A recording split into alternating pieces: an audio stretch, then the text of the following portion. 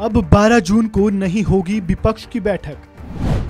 2024 से पहले क्या एकजुट हो पाएगा विपक्ष? एन मौके पर नीतीश ने क्यों लिया ये फैसला?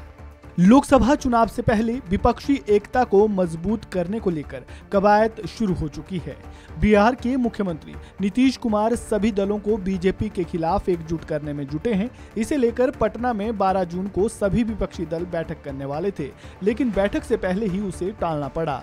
अब बैठक कब होगी, इसकी तारीख तो तय नहीं हुई और आखिर बैठक को टालने का फैसला एन मौके पर क्यों लिया गया? इसे लेकर सीएम नीतीश कुमार ने क्या कुछ कहा, सुनिए। नहीं, वो एक्चुअली बारह को जो करने वाले थे तो उसमें मैक्सिमम लोगों का समर्थन आ गया था। लेकिन एक का, और हम इनको तो कर दिए थे, कांग्रेस वाले को तो वो अभी देख रहे थे तो उनका रिपोर्ट नहीं आ रहा था। और एक का और आ गया था कि, सर, बारह को तो हम नहीं रहेंगे। फिर कल भी हमारी बातचीत हुई है तो युवा को अभी अब बारह छोड़ दिया जाए, फिर हमने कांग्रेस पार्टी को कहा है कि आप लोग भी बात कर लीजिए और देख लीजिए उसके बाद का जो डेट तय होगा तब। तो बारह वाला नहीं होगा।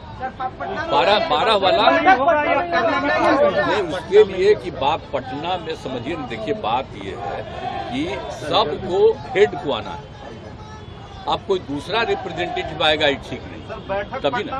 इसलिए नहीं बाकी सब लोग दूसरे सब पार्टी के लोग भी कहने लगे कि मान लीजिए उसके तरफ़ से कोई दूसरा आवेगा ये अच्छा नहीं रहेगा। क्योंकि कांग्रेस पार्टी बारे में चर्चा होने लगी कि उनके हेड नहीं आएँगे। उन लोगों का क्या दूसरे आ जाएँगे। तो सब लोग कहने लगे कि नहीं साहब ये ठीक नहीं होगा। तो आना चाहिए तो कल हम कह दिए उनको कि ऐसा नहीं कोई दूसरा दिन होगा। तो जो कोई डेट तय होगा तब फिर बताएँगे। बारह वाला तो सुना आपने, बैठक को टालने के पीछे कारण है सभी दलों की मौजूदगी का ना होना। 12 जून को होने वाली इस बैठक के टलने के आसार पहले ही नज़र आ रहे थे। इसका कारण था राहुल गांधी की मौजूदगी ना होना। राहुल गांधी 12 जून तक अमेरिका की यात्रा पर रहेंगे, ऐसे में वे इसमें शामिल नहीं हो पाएँगे।